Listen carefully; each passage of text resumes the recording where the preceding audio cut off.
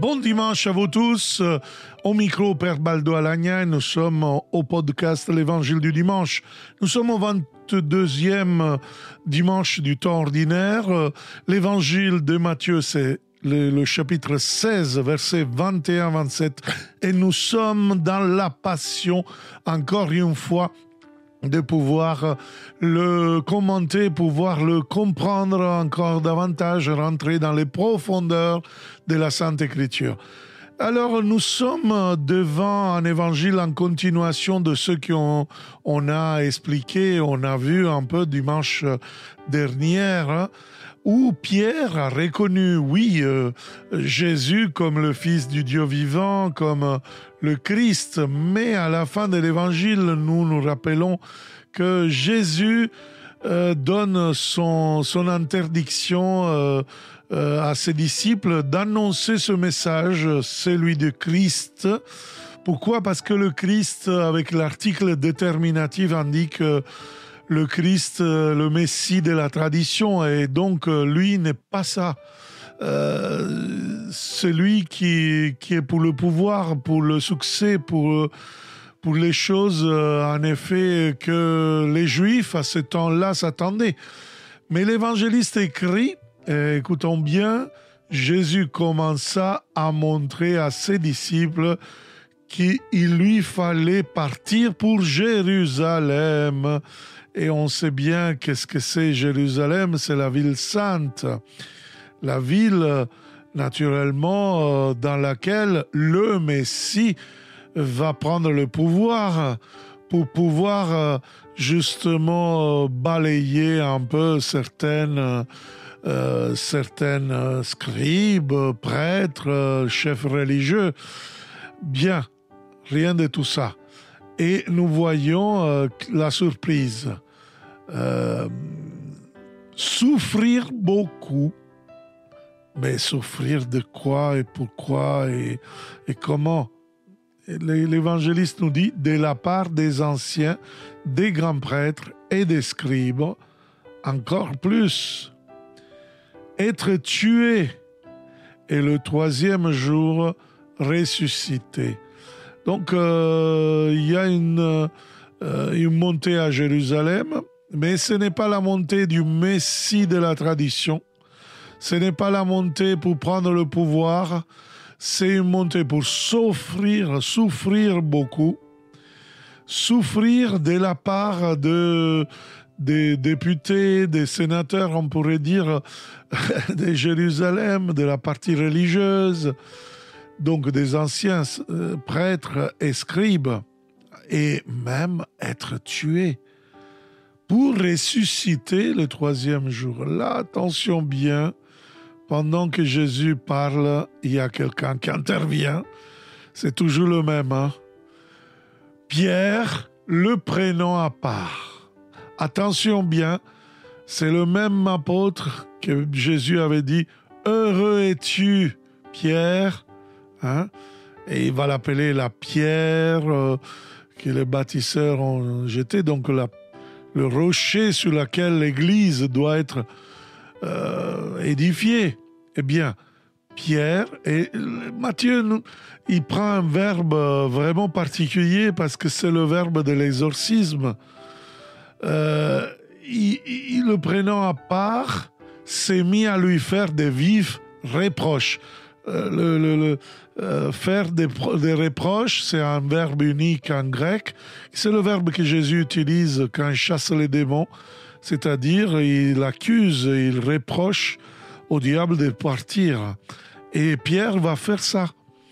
Donc vous comprenez qu'il y a une bataille doctrinale entre Jésus qui dit euh, aux disciples qu'il faut arriver à Jérusalem, souffrir beaucoup, donc la passion, mourir et la résurrection. Pourquoi il le dit aux disciples? Parce que c'est l'exemple pour eux, on va voir tout à l'heure. Et Pierre ne veut pas ça. Euh, donc, euh, donc vous voyons, nous voyons que, comme je vous disais, l'utilisation, c'est le verbe de l'exorcisme. C'est-à-dire pour Pierre, Jésus est en train de dire quelque chose de diabolique qui n'est pas dans la volonté de Dieu. Et même utilise une formule de sécrétion, c'est-à-dire une formule avec laquelle on exprime une condamnation sévère, euh, c'est-à-dire que Dieu te pardonne. Hein? Mais ceci n'arrivera pas. Dieu t'en garde. Seigneur, cela ne t'arrivera pas. Vous voyez, euh, euh, nous voyons en effet que Pierre prend l'autorité, mais ce n'est pas une autorité crédible. C'est une autorité qui est simplement un autoritarisme qui n'a pas d'effet parce qu'il ne connaît pas la volonté de Dieu. Et c'est pour cela qu'il faut faire attention, frères et sœurs, quand on utilise l'autorité que Dieu nous a donnée du baptême, quand on nous a donné un ministère, pour dire l'exact contraire de ce que Jésus veut dans notre vie. C'est très important. Jésus veut que Pierre soit l'apôtre qui porte la gloire, qui annonce la gloire de Dieu. Mais lui, il s'en fiche complètement parce qu'il veut sa gloire, il veut son pouvoir, il veut son autorité, il veut son marketing, disons. Et alors euh, Jésus va se tourner à lui euh, avec une phrase assez assez dur. Euh, se retournant, Jésus dit à Pierre, passe derrière moi, Satan. Et c'est une bonne traduction hein, qui, euh, en effet, est donnée euh, avec trois mots en grec et qui, en effet, on pourrait dire va-t'en, va-t'en, rétro, c'est-à-dire en latin, va de rétro, euh, c'est va derrière moi. Hein. Il faut construire avec deux, deux mots. Satan, donc c'est le nom que Jésus euh, donne à Pierre. Attention, c'est la même phrase que Jésus va donner euh, au chapitre 4, verset 19. C'est-à-dire, Satan il est vraiment l'ennemi de Dieu. Il n'est pas euh, celui qui veut la volonté de Dieu. Mais euh, là, il va le dire à Pierre. Et en plus, il invite à aller derrière lui, comme quand il appelait Viens derrière moi, si moi, sois mon disciple. Donc Jésus, avec cette phrase, n'est pas méchant. on n'est pas devant l'arrogance de Jésus. Jamais Jésus était arrogant. Jamais. Et c'est bien que nous le comprenons. C'est une phrase qui dit l'autorité, la véritable autorité que Jésus veut, justement, que Pierre utilise. C'est-à-dire l'autorité de l'Église est simplement pour appeler à la Sequela Christi, à suivre Jésus, à être ses disciples. Jésus ne va pas le refuser. Satan l'a refusé, a refusé Jésus. Donc, Jésus donne encore une possibilité à Pierre. Va-t'en de ces idées, de ces idéologies qui t'éloignent de la volonté de Dieu. Et mets-toi derrière moi, derrière mes pas. Parce que sinon tu es Satan, l'ennemi qui veut être le contraire de Dieu. Donc Jésus dit que euh, une phrase qui en effet euh, traduit Tu es pour moi une occasion de chute. Bon, euh, le sens est juste, mais littéralement Jésus dit Tu es pour moi une pierre. Et l'utilisation euh, de ce mot pierre, en effet, c'est la pierre du scandale. Scandale, c'est à ce temps-là, c'était une pierre qui était un peu dans la campagne, à moitié cachée, à moitié visible, qui quand on la prend, en effet, euh, il nous fait euh, chuter, quoi. Donc, Simon, qui était la pierre, le rocher, de construction, d'édification de l'Église, maintenant devient la pierre du scandale, la pierre qui est occasion de chute. Donc c'est lui donc qui normalement il doit être un disciple, porteur de sa gloire, annonciateur de la bonne nouvelle. Là, en effet, il ne pense pas selon Dieu, mais selon les hommes. Ce qui dit, passe derrière moi, Satan, tu es pour moi une occasion de chute. Tes pensées ne sont pas celles de Dieu, mais celles des hommes.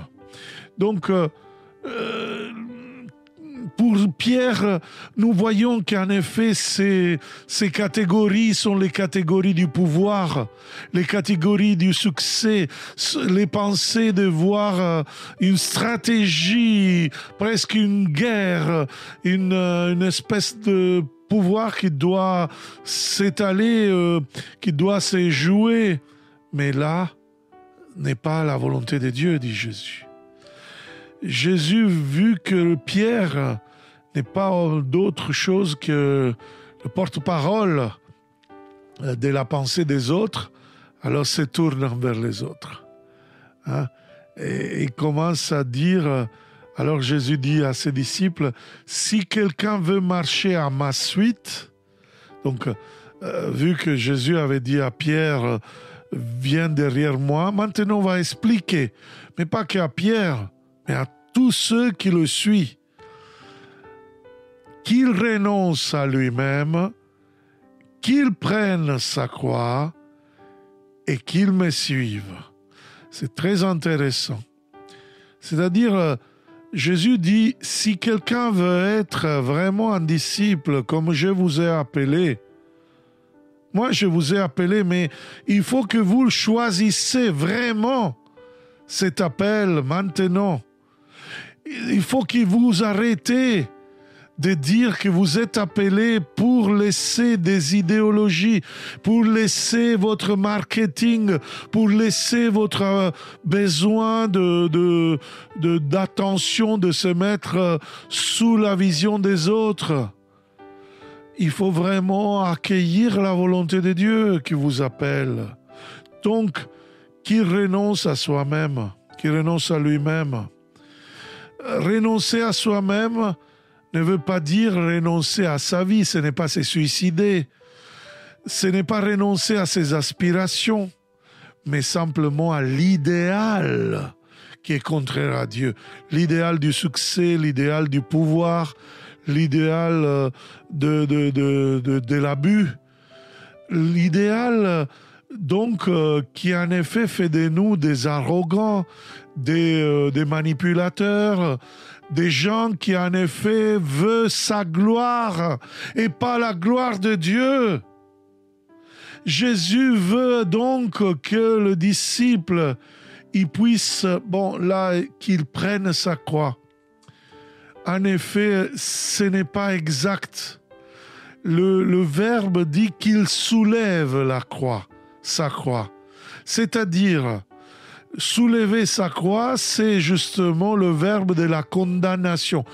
Même quand euh, être disciple, ça va vous coûter des condamnations, même quand les gens vont vous regarder mal, même quand ça marche pas votre prédication, même quand votre évangélisation est nulle, même quand vous êtes vraiment euh, là en train de, de, de, de, vivre quelque chose qui ne vous donne pas de la gloire et qui vous donne même des condamnations, des supplices. Et donc, chargez-vous sur les épaules. C'est là. Euh, c'était la croix, c'était plutôt fait de deux morceaux. Donc, le condamné doit porter l'axe horizontal et donc à ce moment-là, euh, euh, arrivé jusqu'au lieu du martyr, et là tous les gens commençaient à l'insulter, à, cracher dessus, euh, exactement comme Jésus va vivre justement à Jérusalem. Donc, vous voyez, Jésus demande que nous pouvons avoir cette humilité qui précède la gloire pas une stratégie de leadership euh, euh, marketing comme dans le monde, Attention bien, la mission de l'Église n'est pas un abus de pouvoir. Je n'en peux plus de voir comment des groupes de prière même, parfois ils réfléchissent avec une manière complètement aberrante comme s'ils si, ont en main le pouvoir de, de, de, bouger des âmes comme euh, euh, des bourratins. Non, frères et sœurs. Pierre et les disciples sont appelés à une humilité telle qui peut attirer la gloire, la véritable gloire de Dieu. Et c'est la gloire de Dieu qui va donner de la différence. Ce n'est pas soi-même, ce n'est pas son hédonisme, ce n'est pas son vieil homme, ce n'est pas ses péchés qui parfois reviennent quand on n'est pas vraiment dans cette humilité qui précède la gloire de Dieu. Frères et sœurs, on n'a pas besoin de faire des formations parfois pour attendre je ne sais pas quelle manipulation ou quel, quel leadership il y a du coaching parfois à, beaucoup de niveaux. Alors attention, euh, la transformation missionnaire, il faut la faire comme ça avec cette méthodologie. Attention à ceux qui, qui vous prêchent une méthodologie qui n'est pas cohérente avec l'évangile de Jésus-Christ. C'était le moment plus dur de la vie communautaire des apôtres à ce moment-là. Parce que, en effet, suivre Jésus, ça veut dire aller mourir. Mourir pour vivre. Pour vivre de sa gloire. Donc, vous voyez, c'était un peu ce que Jésus a entendu à un certain moment quand Jacques et Jean vont. Euh, lui demander quand tu seras dans ton royaume, euh, place-nous en ta droite, en ta gauche. C'était les trois du conseil de Jésus, Pierre, Jacques et Jean, qui voulaient le pouvoir. Et Jésus, qu'est-ce qu'il va dire? Il va dire que pour arriver à être les premiers, ils soient les derniers, soient les refus, les émarginés, les rejetés de la société, comme ici, comme le condamné, condamné, qui n'a pas de reconnaissance, qui est même accusé, qui même doit arrêter euh, contre tout combat. De ses amis, de ses frères qui vont parler mal de toi, qui vont dire peut-être des choses négatives. Qui n'a pas vécu ça? Moi, si vous voulez, je pourrais vous raconter beaucoup d'histoires. Mais nous ne sommes pas appelés à être victimistes. Oh là là, être chrétien, combien c'est difficile. Non, Jésus ne veut pas ça. Mais il veut que nous on suive Jésus dans cette autorité, dans cette fermeté, dans cette joie qui est justement la joie de le reconnaître le véritable Messie. Voyez pourquoi il avait demandé le silence Parce qu'il avait vu que la conversion encore avait besoin de quelque chose, avait besoin de la mort. Et parfois, on n'arrive pas à tenir le Saint-Esprit dans notre vie qui nous donne de la condition divine. C'est parce que, en effet, nous sommes encore des gens qui laissent le vieil homme prendre sa place. Et combien de fois je vois même des gens, des prédicateurs faire n'importe quoi. Et, Jésus dit, bon, ne regardez pas la réputation, la, gloire, acceptez d'être considérés les derniers, acceptez d'être libre, mais pleinement libre on s'en fiche de ce qui pensent de vous. Jésus a besoin de personnes qui n'ont pas besoin du succès, mais ont besoin de annoncer l'évangile de la gloire. Et après, il va conclure quelque chose. Quel avantage en effet un homme? Aura-t-il à gagner le monde entier si c'est au prix de sa vie? Et que pourra-t-il donner en échange de sa vie? Waouh.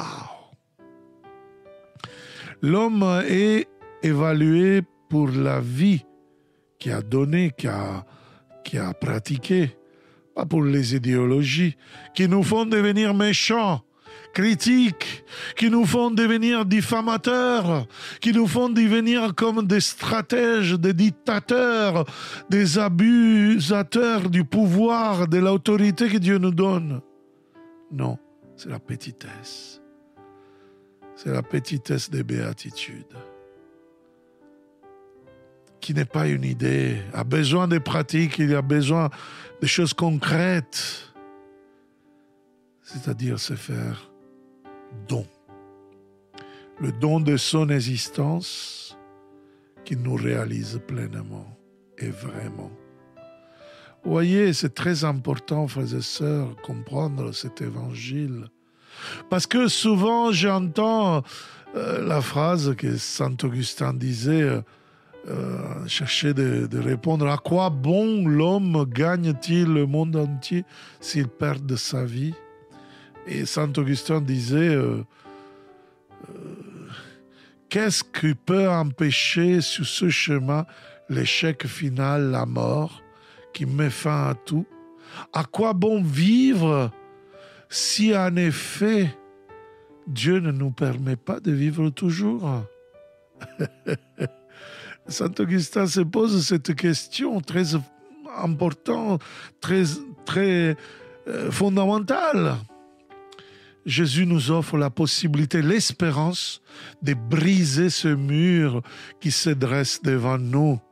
Tous les fois qu'il est doute de la chair, il nous met contre sa volonté, la volonté de Dieu il y a un cheminement inverse à nous parfois que la chair trace, c'est le cheminement du déni.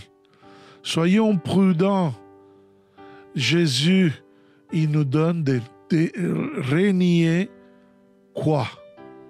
Précisément, il ne nous demande pas de renier nos possibilités authentiques, nos valeurs humaines mais de la partie malade de nous-mêmes.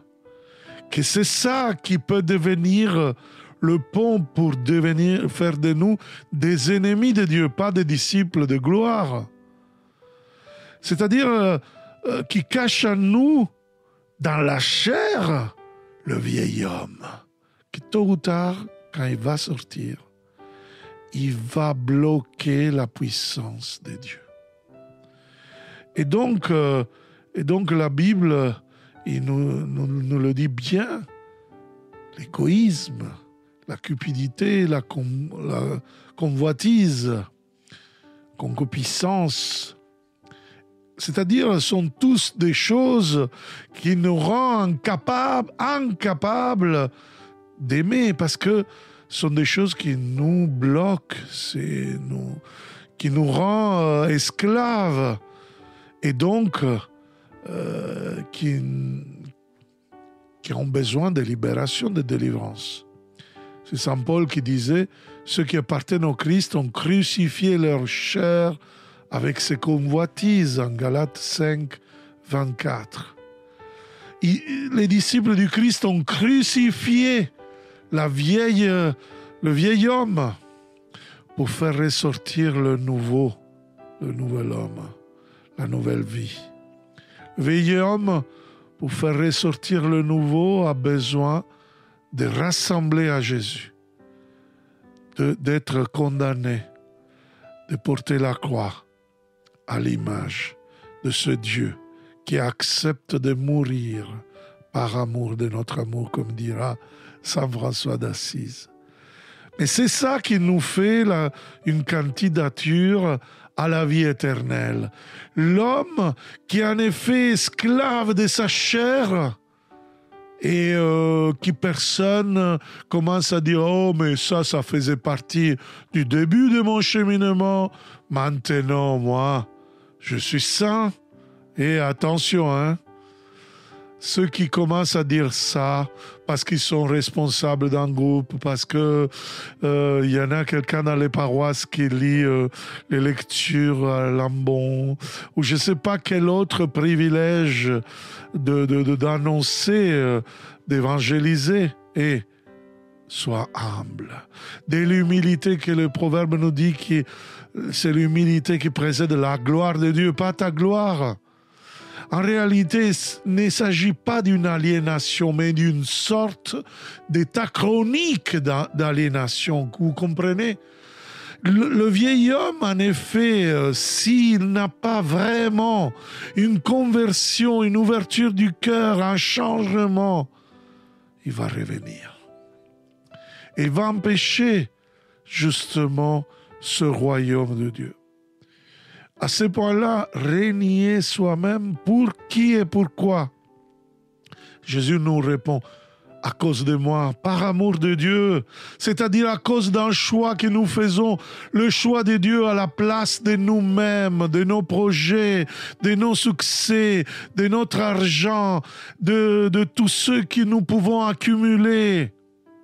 Eh oui, à cause de l'espérance que le Seigneur nous offre au-delà de la mort.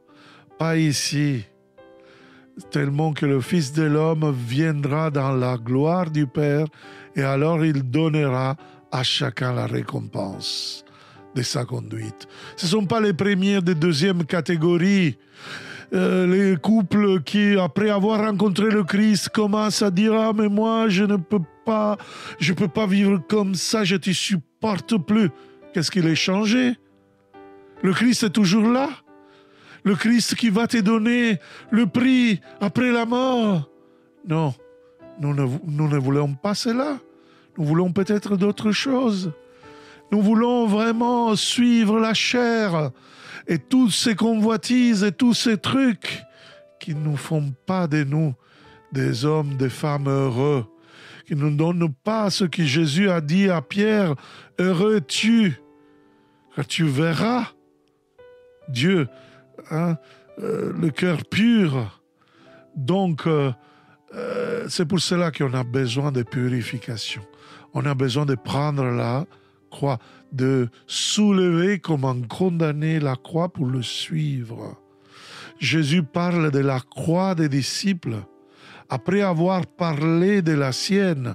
C'est-à-dire que lui s'est fait modèle et nous demande d'être aussi nous modèles des autres. Voilà qu'est-ce que ça veut dire être disciple et faire les disciples. Mais nous donne aussi l'assurance. Si tu fais ceci, donc tu passeras la mort, mais le troisième jour, tu ressusciteras. Ce troisième jour, ses disciples ressusciteront également comme lui. C'est ça la force de son message, de son évangile. C'est cet événement de la mort et résurrection du Sauveur qui est la source, le modèle de notre conversion, de, de ce qui en effet nous amène à vivre de sa gloire. Alors, euh, dans ce dimanche, vivons vraiment le mystère de la mort et la résurrection. Peut-être vous allez à la messe, sûrement vous allez à la messe qui nous donne justement de vivre cette puissance de Dieu pour tirer le courage et euh, le suivre euh, pour offrir, donner notre vie comme sacrifice vivant à Dieu et apprendre de lui, à retrouver en lui la vie éternelle. Très bien, avec cela, je m'arrête et je vous donne rendez-vous à dimanche prochain pour le podcast du dimanche. N'hésitez pas à le partager, à l'envoyer à vos amis, euh, particulièrement à ceux qui souffrent, parce que la souffrance peut être offerte pour le salut des âmes, justement pour la gloire de Dieu, et ça nous permet de mourir pour vivre de sa gloire et que de lui. Amen. Et bon dimanche à vous tous et à, à bientôt.